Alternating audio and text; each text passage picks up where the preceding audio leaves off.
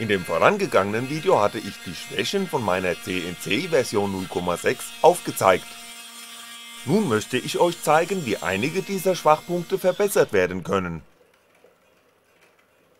Im Baumarkt habe ich mir 8 Rollen mit einem Durchmesser von 30mm besorgt.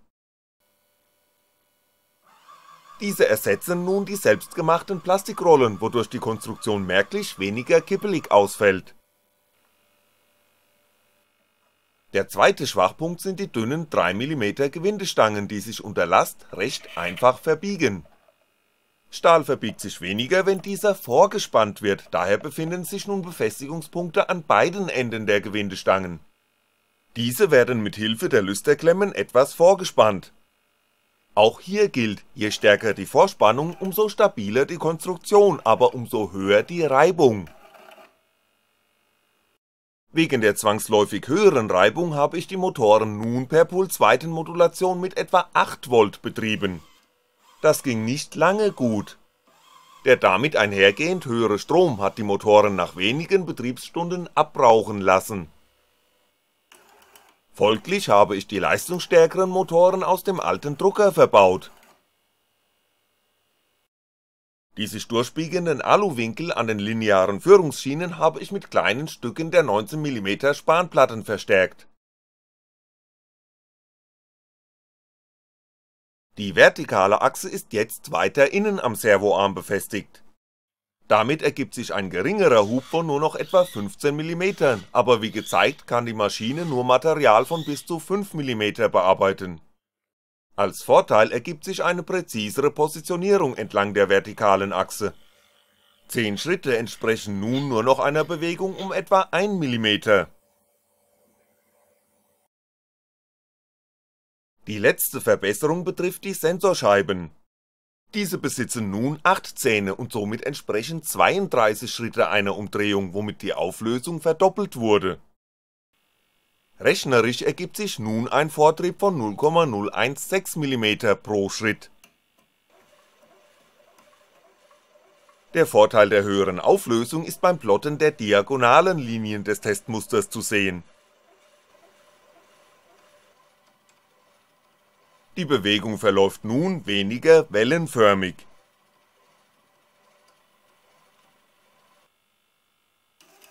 Der sich ergebende größere Scheibendurchmesser erfordert leichte konstruktive Eingriffe.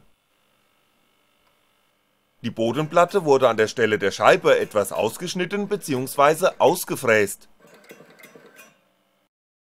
Insgesamt ist die Abweichung des Testmusters kleiner, die Arbeit und die geringen Mehrkosten haben sich gelohnt.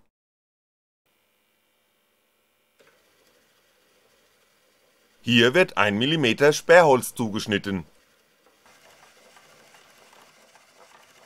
Die Teile sind zuvor gespiegelt worden, da die Unterseite beim Schneiden weniger ausfranst als die Oberseite. Dennoch müssen die Teile nach dem Schneiden mit Schmirgelpapier geglättet werden.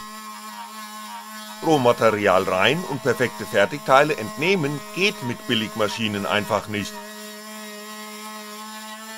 Mit Kleber und etwas Farbe erhalten wir eine weitere Kopie eines offenherzigen Pinguins, der euch bereitwillig erzählt, was seine Software alles macht. Ferner begehe ich mit dieser Kopie keinen Rechtsbruch. Das Betriebssystem, für das dieser Vogel steht, erlaubt sein Kopieren ausdrücklich. Als nächstes bearbeite ich erneut 3mm Plastik. Wie gezeigt muss dieses Material mit Wasser gekühlt werden, um mit dieser langsamen Maschine bearbeitet werden zu können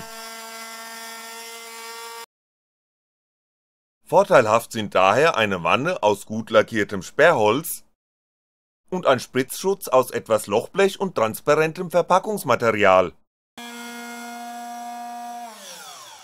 Die verbauten Spanplatten quellen durch allzu viel Spritzwasser auf, was nicht gut für die Präzision der Maschine ist.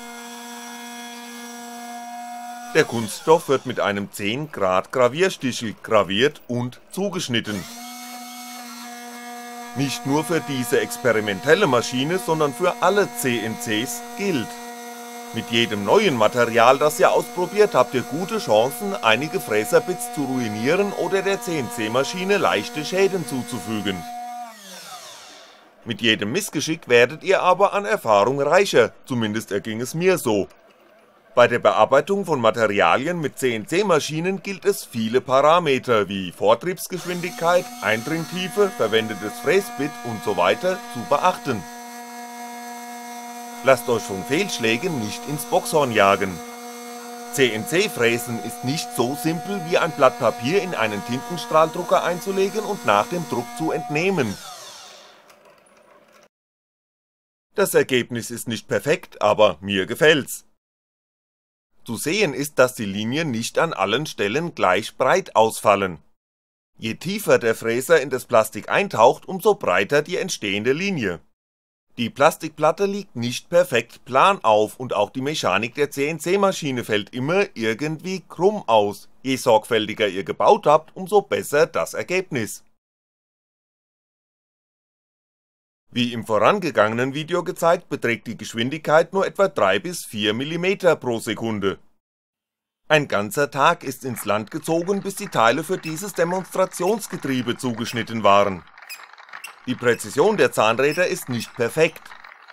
Mit einer kleinen Rundfeile musste ich einige Zähne etwas nachbearbeiten, damit sich die Zahnräder leicht drehen lassen. Nicht eingerechnet sind die Fehlversuche, das zunächst verwendete Fräserbit war zu sehr abgenutzt, ich hatte damit im vorangegangenen Video Aluminium zugeschnitten. Den Kanten des Zahnrades sieht man das schlechte Schneidwerkzeug an. Auch beim Betrieb dieser Billigmaschine macht sich bemerkbar, dass teure, qualitativ hochwertigere Fräserbits die bessere Wahl sind.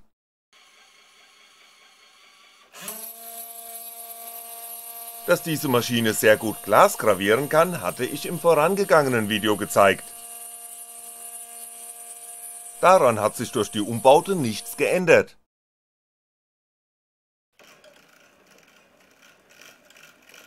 Ich wurde gefragt, ob man damit Platinen fräsen kann. Im Prinzip geht das. Die Bearbeitungsgeschwindigkeit ist gewohnt niedrig. Die hier angedeuteten Leiterbahnen besitzen eine Breite von 2mm der Durchmesser der Lötpunkte beträgt ebenfalls 2mm. Taucht der Fräser dabei nicht allzu tief in die Platine ein, so bleibt ein dünner Ring zurück. Da die Platine niemals vollkommen plan aufliegt, kommt es in der Breite der Fräsnut zu Abweichungen. Einige der Lötpunkte sind abgerissen, womit das Ergebnis als unbrauchbar zu bezeichnen ist Zumindest kann man mit der Maschine, die ich gebaut habe, eine kupferbeschichtete Leiterplatine dekorieren, mehr im Moment aber auch nicht. Als letztes riskiere ich ein weiteres Fräserbit und schneide 1mm Aluminium. Die Vortriebsgeschwindigkeit ist sehr klein gewählt, um die Seitenkräfte möglichst gering zu halten Mit qualitativ höherwertigem Schneidzeug geht's sicher schneller, da mit schärferem Werkzeug die auftretenden Seitenkräfte generell kleiner ausfallen. Für den Kreis mit einem Durchmesser von 6cm hat die Maschine etwa 20 Minuten benötigt. Das Ergebnis ist selbst mit dem billigen Baumarktbit recht gut Wer nun aber glaubt mit dieser Maschine Aluminium aus dem Vollen fräsen zu können, sollte einen Blick auf die sehr unsaubere Schnittkante werfen, das ist mit dieser Mechanik keinesfalls möglich. Ihr könnt eigene Experimente mit anderen Materialien oder Fräsern starten und mir die Ergebnisse mitteilen, erwartet aber nicht zu viel von dieser Maschine. Ich bleibe bei dünnem Sperrholz, Glas, Depron und Plastik Version 0.6.1 ist nicht das Ende der CNC-Evolution, bleibt meinem Projekt also gewogen. Danke fürs Angugge und bis bald